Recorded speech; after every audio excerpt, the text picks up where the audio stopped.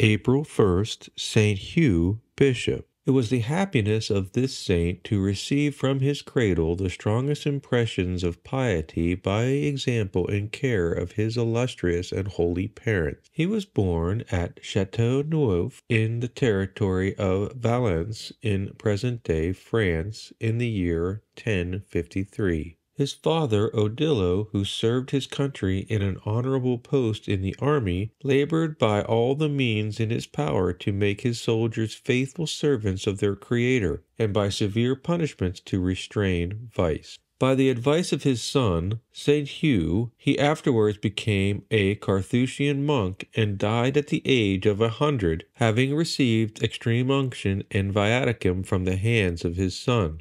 Our saint likewise assisted in her last moments his mother, who had for many years, under his direction, served God in her own house by prayer, fasting, and plenteous alms deeds. Hugh, from the cradle, appeared to be a child of benediction. He went through his studies with great applause, and having chosen to serve God in an ecclesiastical state, he accepted a canonry in the Cathedral of Valence. His great sanctity and learning rendered him an ornament of that church, and he was finally made Bishop of Grenoble. He set himself at once to reprove vice and to reform abuses. And so plentiful was the benediction of heaven upon his labors that he had the comfort to see the face of his diocese in a short time exceedingly changed. After two years he privately resigned his bishopric presuming on the tact consent of the Holy See, and putting on the habit of Saint Bennet, he entered upon a novitiate in the austere abbey of Casa-Dei